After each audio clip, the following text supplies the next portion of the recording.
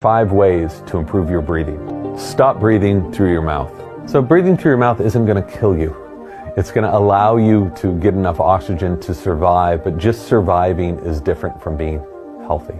So, the difference between the mouth and nose, there are numerous differences, but the main ones are the nose is the filter. This is our first line of defense for the body.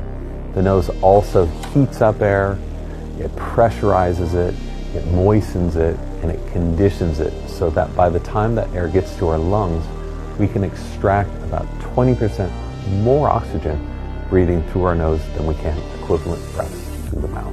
If you think that's not going to make a difference throughout the day, throughout your life, you're crazy.